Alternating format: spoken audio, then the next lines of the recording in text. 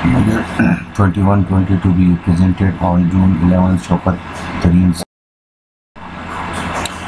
Government has focused on controlling inflation in this budget. As Pakistan budget for the fiscal year 21 and 22 will likely be tabled on 11 June as Finance Minister said.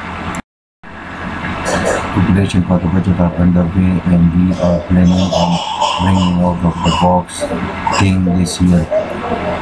He said in a briefing on Sunday. The minister said that the coronavirus has affected the international economy and inflation has risen across the world. The government focus will now be on reducing. Tareen revealed that the government will begin targeting subsidies to the power sector this year and announce more for other products next year. We highlighted the importance of the two-pronged strategy of building strategic reserve for essential commodity and interest-free loan to farmers. The objective is to ensure price stability.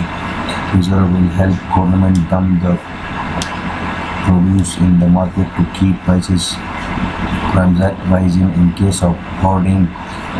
Credit access to farmers will also help them produce more.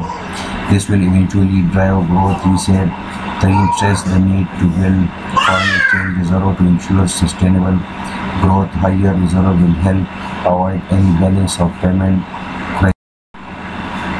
Sustainable growth is growth for every segment of the society. He added that for both federation and provinces to have fiscal independence, the tax to GDP ratio has to be 18% to 20. We need to raise it by 1% every year to get there in 10 years. Presently, the is percent.